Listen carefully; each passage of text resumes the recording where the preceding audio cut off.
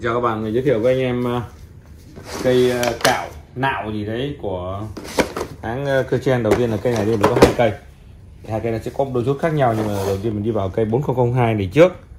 À, thì chiều dài có nó là 250 mà hộp này họ đóng cho một cái hộp này có giá trị vận chuyển thôi. À, họ đóng cho cái hộp như vậy.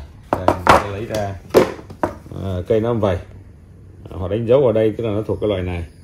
Loại cong xuống nhỉ và nó có loại thẳng nữa ha đó, bạn thấy cái này hơi cong. Chiều dài của nó 250 góc nghiêng của nó là 25 độ.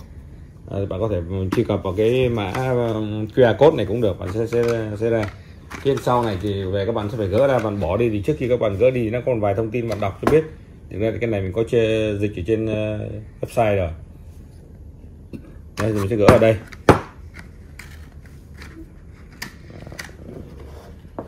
Cái trên thích làm giấy ra đó, bạn ra nó như này. Bạn thấy đây nó có cái logo ở đây thì mặt này sẽ là mặt phải. Nha. Đó, bạn để nó sẽ như này. Mặt này sẽ là mặt phải bạn gọt ở đây. Bào thì tất nhiên là mình sẽ bào cây gỗ mình sẽ phải ngồi lên trên cây gỗ để mình bào mình kéo như thế này. 250 là độ dài của cái đoạn này.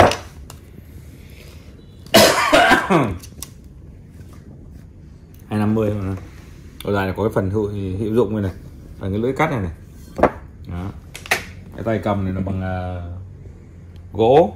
Nhìn họ đúc từ bên đây sang bên đây luôn. Họ đóng sang đây xong họ chốt kín cái này để lại đẹp về mặt thẩm mỹ thôi.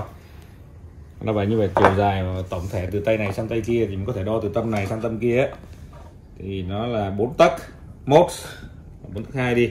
42 đi cho nó đẹp. 420 nếu mà tính phủ bì thì nó cỡ khoảng 450 thì cái chốt ở đây hoặc khóa cứng ở đây thì sau này giả sử như mà trong một tình huống ABCZ nào đó mà cái này nó bị hư thì các bạn vẫn có thể thay được cái, cái tay này riêng được bởi vì bạn chỉ vặn cái ốc này ra thôi. Thì họ chốt cứng vào đấy. Ở đây họ không có đóng cái mã hàng lên. Và cái này bằng thép gió và họ mài. Bạn thấy mặt này họ mài phẳng này giống như lưỡi bào gì đó. Để bạn gọt cái cây gỗ gọt cái vỏ gỗ ra. Kéo như vậy này nè.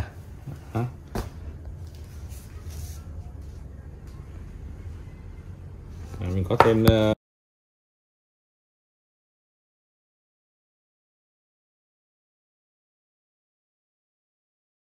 Mm-hmm.